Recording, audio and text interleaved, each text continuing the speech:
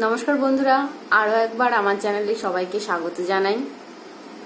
আজকে আমি খাব ভাত, কচুর ভর্তা আর ভোলা মাছ।